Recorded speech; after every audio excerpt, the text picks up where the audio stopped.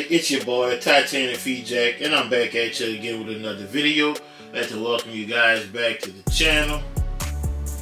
There's a couple ways you can follow me along this journey. Right here on YouTube is one of them.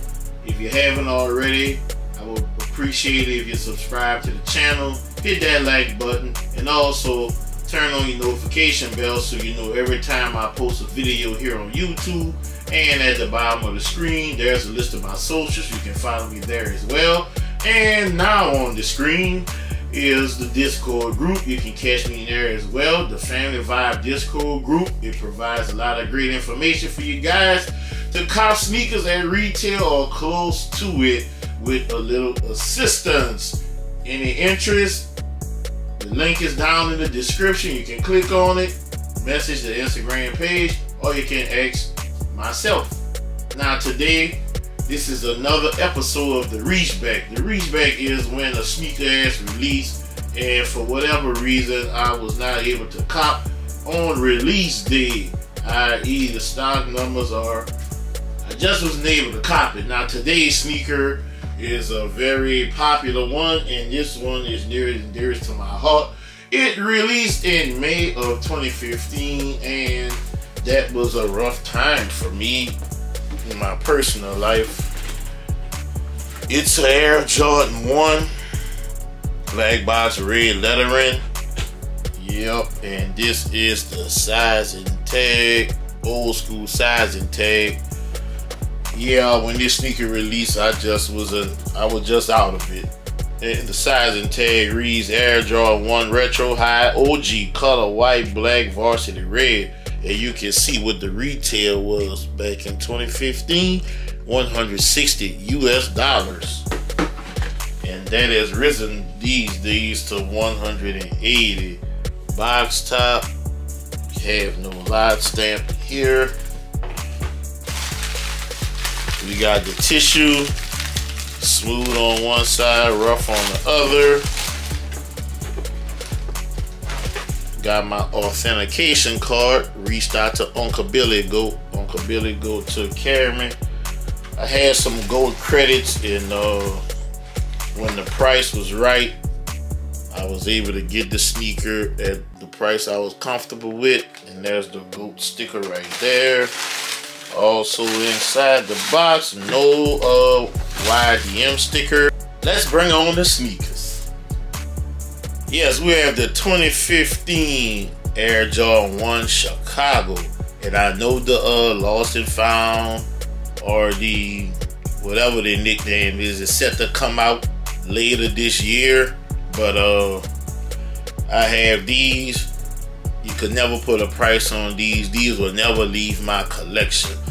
And we're gonna start. This shoe is on an all white base. You have white on your quarter panel right here. You have a black leather swoosh going on right here. You have the Jordan Wings logo branded on right here in the black colorway. You have red going around your ankle collar, your heel, down your lace eyelets on your side panel, as well as that mud guard. You have a white midsole with the uh, red at the very bottom, which leads to the outsole. You have an all red outsole. Jordan 1 outsoles tend to stay the same for every release. Looking at the uh, heel of the sneaker, more of that beautiful red colorway going around the heel and the ankle, like I mentioned before. But in addition to that, you have the black going around the top, the padding going around that ankle. Looking at the medial side of the sneaker, you have more of that white leather on your uh, quarter panel, and you have the black Nike swoosh, which is connected with the one from the other side under this little hit right here. And you have a little black hit there, and more of that red leather coming around the ankle collar from the other side. Down your lace eyelets hit on the side panel, and as well as the toe box. And the uh, leather is a nice little thick cut leather, white on your midsole and red at the very bottom. Here's your cardboard shoe tree. This is what it looked like back then. Jordan Jumpman. It says 12 and a half, 14 as the size. And we do not have die cut sock liner or molded or whatever. they have underneath there. This is the toe box. Great leather.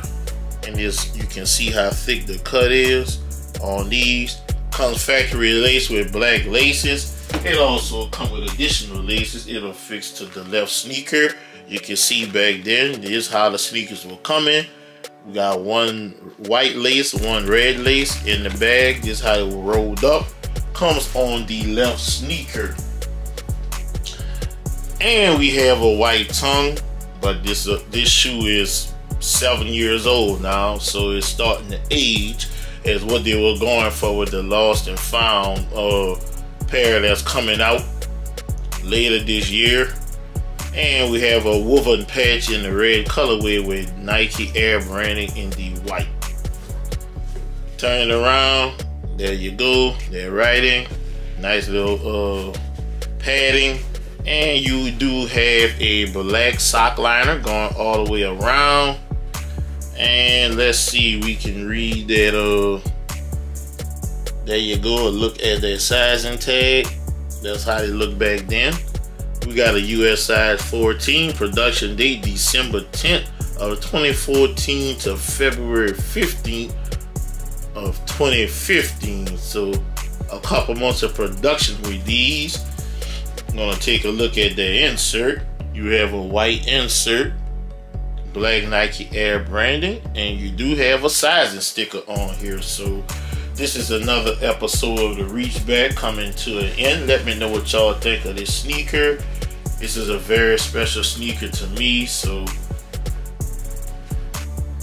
it's up there in my collection. It is on display here, but uh, this is as good as it gets for me. So let me know your thoughts on the sneaker. Let me know if you have the collection and how did the release go for you back in 2015 if you guys can remember? Or if you were even in the sneaker game back then? But uh leave that in the comment section. And like i always tell you if you can help somebody get a sneaker help them get that sneaker. Because you never know when it will be your turn to need help getting the sneaker.